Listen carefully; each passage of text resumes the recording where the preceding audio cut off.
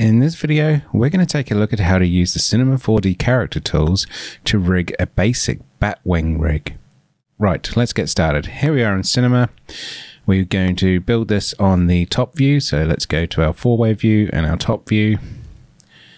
And we're going to set up the joint chain on this plane. So we're going to go to the character tools, joint tool. Now the joint tool, you need to hold down control to add the joint into the viewport.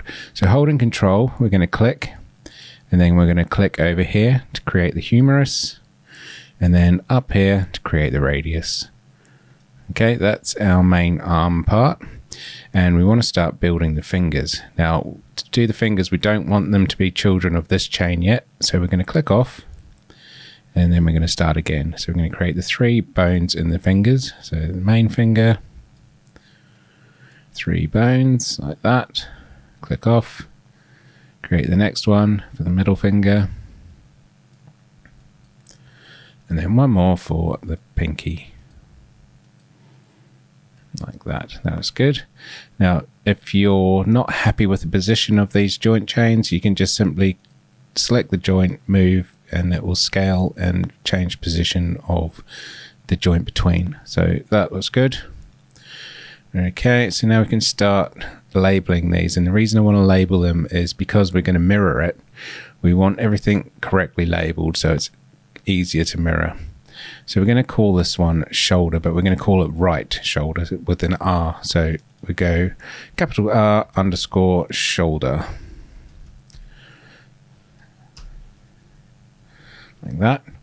And then we'll copy that R underscore and then this one. So paste that into here and we call this H for humerus so that's a humerus joint. This one is going to be R for radius joint. And then this one paste that and we'll put a W for wrist. So there's our three arm joints. Then we'll do our fingers and you can just rotate to see which one we're talking to. So here is our main finger. So we go right, main finger, copy that, and then paste that in before the word joint in each of these. Because they have the no number one, two, and three, they're all individually named, which is great. So this one is our middle finger. So right, middle finger. Copy that. Paste that in. Like so. Then the last one, our pinky. So right, pinky. Copy. And then paste all that in. Now we're all labeled up nicely. Okay, so we want these fingers to be a child of our wrist. Let's close these hierarchies up so we can select all those and make them a child, which means when the wrist moves, they'll move with it.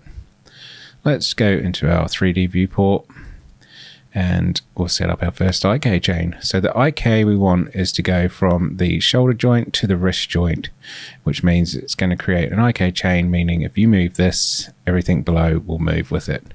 So to do that, we select the humerus and the wrist, and we ignore the radius because we don't need any IK on that.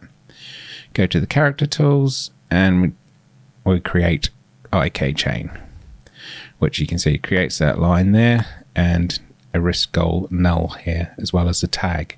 So if we look at the tag, you can see that it's got our end solver goal and which joint it's attached to. So if you move this, it's going to move that IK chain.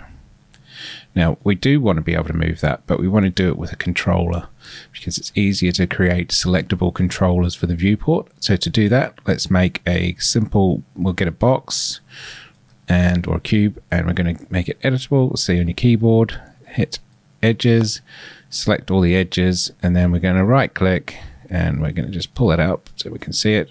Edge to spline. And that creates this spline based on those edges. We've got that. Let's scale it down. And I'm going to put a color on it just so it's easier to see within the viewport. Let's put a nice bright pink on it, something like that. Looks good, nice and bright. Then we can move that to where we need it to go. So we're going to put that right where that joint of the wrist is, like that. So that's our controller. So you can select it in the viewport easily. So let's call this right wing controller. That. So that's going to be a child of the shoulder, and then this this goal null is going to be a child of the wing controller, which means when that's selected and moved, that moves with it. The only issue ha we have here is that if you want to rotate the fingers, that doesn't work. So let's set that up. So we're going to select our joint, our wrist joint. We're going to right click. We're going to choose rigging tags, constraint, and we use a transform constraint. So enable that. Don't want position. We only want rotation. And then our controller goes into the target, which you can see it's flipped it, but that's easy to fix. We can just rotate our controller. So let's rotate the controller around like that. So now we have position and rotation of our fingers. We need one more controller and that's because that's going to be called a pole vector and I'll explain that shortly. So let's create a null and we'll call this our pole. Like that. That can go in here as well. And we're going to get this one, we'll make it a sphere. Give it a color. So we go to automatic and let's make this one blue. Like that. The color is really useful with rigging in the viewport when you can look at the rig and know what color for what sort of controller you're looking at. So you can easily select them. Okay, so what we need is a vector that goes from this joint and aims it at this target so that the when you're animating the wing, you're not going to have any flipping issues with the elbow because the elbows could flip when you've got just IK. So we'll set that up. So we select the tag the IK tag. And if we look down, you have this pole vector option and you can just add a pole, but I like to create my own objects. So let's drop our pole in here and you can see that's created that line there. Now that line doesn't really mean anything, but I don't really like it being attached to the root. I prefer it being attached here. And you can do that by going to display and where the pole vector option is selected, you can change it from root to joint, and that puts it in that position. And now this controller will control the elbow, and it also means when you're animating, it's not going to flip because it's always got a target to aim at. Okay, so that's the main rig there. Let's just add some simple dynamics to these fingers. So let's come down here. We'll open these up. And again, we're going to use a, a IK chain. So you select the root and the top where you want the chain to control. You go back to character, create IK chain. Now this creates another controller null here, a goal, and we don't actually need these because this is just going to be a dynamic chain and I don't need a controller to keep them locked.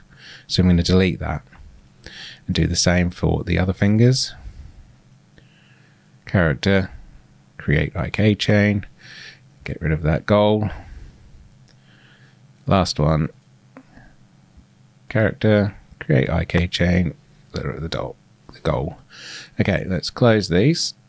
And you can see each of these have a IK tag, which means it's still exactly how it was. However, we can now access the dynamics. So select those tags, go to dynamics, and enable. Now, if you push play, you can see now they're dynamic. This only happens on play. So let's get some more time on the timeline. So if you're playing and you can, using your driver, there's some dynamics in those fingers there, which is exactly what you want for a really simple batwing rig. So let's put that back to zero, go back to zero, and you can add or remove how much they are how strong the dynamics for those are just with this strength slider here, but we'll leave it on default. So almost done. The last thing I want to do is create a mirror. So let's select the shoulder, go to character, go to mirror tool, then we go to naming and we're going to replace R underscore with L underscore. Okay, go to the tool and hit mirror. You can see that's now created a perfect copy of our rig, which means if you want to do a basic flapping animation, you can select both of those. Let's push play and have this cool bat wing like that. So that's really simple. It's not fully animatable like you'd want to have controls over the fingers if you wanted it, but this is a simple, basic Batwing style animation rig.